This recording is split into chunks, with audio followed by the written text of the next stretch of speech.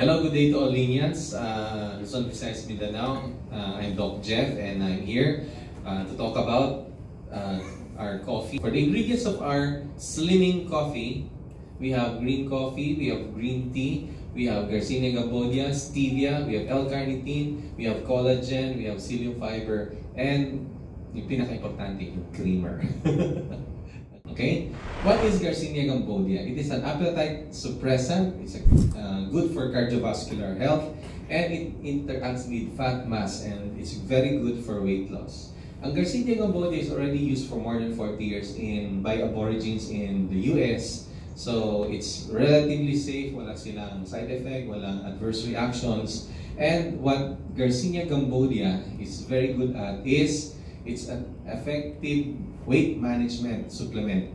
Okay? So it helps healthy, uh, help, may, helps with healthy hair, nails, and skin also. It may help in lowering cholesterol, ideal for sports people to quickly energize the body. Okay, so maraming uh, ang, ang mga aborigines ang gumagamit because when they go hunting, hindi sila pwede magdala ng maraming pagkain, maraming tubig. So, konting pagkain, konting tubig. Kinakain nilang Garcinia to help them uh, create more energy and to lose their appetite to eat.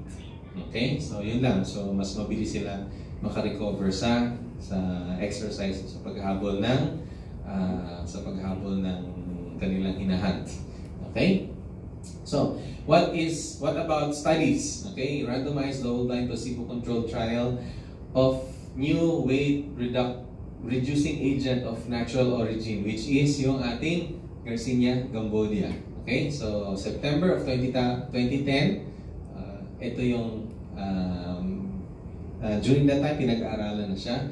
Evaluation of safety and efficacy of hydrocitric acid or Garcinia gambodia extract in humans. Pinapakita dito sa study na to that Garcinia gambodia is safe, walang side effect, and uh, relatively uh, maganda ang outcomes uh, pagdating sa ano. Given Journal of American Med uh, Medical Association, okay?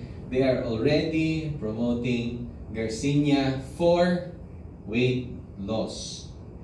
Okay? So, magkakatalo na lang dyan kung gaano kaganda ang Garcinia ng coffee or ng product mo. Yeah.